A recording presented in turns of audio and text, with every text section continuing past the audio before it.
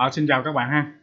Trong cái video này thì à, mình sẽ hướng dẫn các bạn cách để có thể kiểm tra IP của một website hay còn gọi là của một cái domain đó à, như thế nào. Thì à, cái video này mình hướng dẫn các bạn hai cách. Ở cái cách đầu tiên á, thì mình sẽ dùng cái cửa sổ dùng lệnh của Windows. À, bây giờ các bạn sẽ nhấn cái phím Windows và cái phím R cho bằng phím nha. Lúc này ngay chỗ chữ open á các bạn sẽ nhập chữ cmd sau đó các bạn nhấn ok. Bây giờ giả sử như mình muốn kiểm tra cái uh, website kênh kiến thức net á nó có ip là gì? Thì mình sẽ dùng cái lệnh là bin. Sau đó các bạn gõ dấu cách. Các bạn sẽ gõ tên miền vào. Ví dụ như kênh kiến thức net. Sau đó các bạn nhấn enter thì uh, lúc này các bạn sẽ nhìn thấy cái địa chỉ IP là 112.213.87.147 à, đây là IP của website kênh kiến thức.net này. Tương tự các bạn có thể kiểm tra cái uh, website của báo tuổi trẻ chẳng hạn. Thì các bạn sẽ dùng lệnh binh tuổi trẻ.vn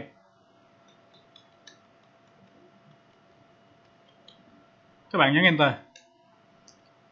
Thì cái địa chỉ mà 123.30.215.16 à đây là địa chỉ IP của báo tuổi trẻ này. Tương tự các bạn có thể kiểm tra những cái trang web khác ha thông qua cái lệnh binh này. À, rất là dễ dàng. Ngoài cái cách dùng cái lệnh binh phổ biến này á thì các bạn có thể truy cập vào cái trang web là kiểm tra ip.com à, đây cũng là một cách kiểm tra rất là dễ. Sau khi mà các bạn đã truy cập vào trang web kiểm tra ip.com thì các bạn click vào cái link là kiểm tra DNS Việt Nam. À, các bạn bấm vào đây. Ở ngay cái chủ cái khung ờ, nhập này á các bạn sẽ nhập cái trang web mà các bạn muốn kiểm tra. Ví dụ mình nhập kênh kiến thức.net nha.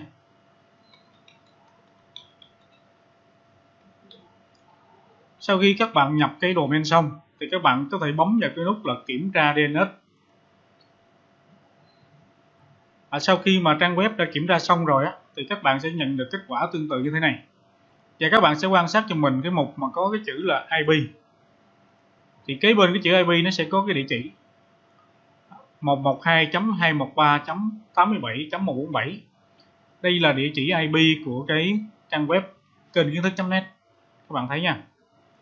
À, tương tự các bạn cũng có thể kiểm tra lại với cái web là tuổi trẻ.vn hoặc các bạn có thể kiểm tra một trang web nào khác. Ví dụ như mình kiểm tra web của báo thanh niên đi thanh niên.vn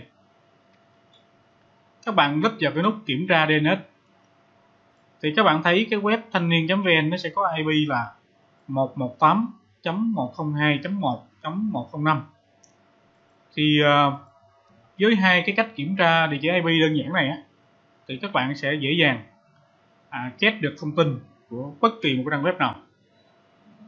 À, cảm ơn các bạn đã theo dõi video này. Các bạn nhớ subscribe kênh của mình.